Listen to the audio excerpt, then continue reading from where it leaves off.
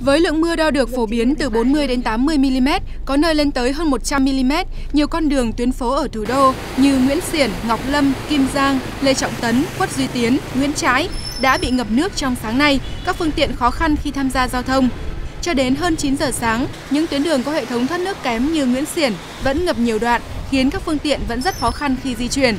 Cũng do mưa ngập đúng vào giờ cao điểm, trùng với ngày khai giảng năm học mới nên lượng phương tiện gia tăng, khiến nhiều tuyến phố như Kim Mã, Nguyễn Trí Thanh bị ùn tắc trong thời gian dài. Nhiều bậc phụ huynh đã không kịp đưa con em mình đến trường khai giảng đúng giờ. Một số trường đã phải hoãn lịch khai giảng hoặc khai giảng muộn hơn so với thời gian. Thậm chí có trường phải khai giảng ở hành lang lớp học như trường Trung học cơ sở Dịch vọng thuộc quận Cầu Giấy, trường Tiểu học Việt Nam Cuba thuộc quận Ba Đình. Nhiều trường phải căng mặt rộng trước sân để tiến hành khai giảng như trường Trung học cơ sở Nguyễn Trãi thuộc quận Đống Đa và một số trường tiểu học trên địa bàn quận Từ Liêm. Mưa lớn cũng đã làm một cây xà cừ gần trăm tuổi ở ngã tư Bà Triệu, Tô Hiến Thành bật gốc, đổ ngang đè bẹp phần đuôi của xe buýt số 8 chạy tuyến Long Biên Đông Mỹ đang lưu thông, rất may không gây thiệt hại về người. Tuy nhiên, giao thông trên tuyến phố Bà Triệu đã bị tắc nghẽn nhiều giờ trong sáng nay.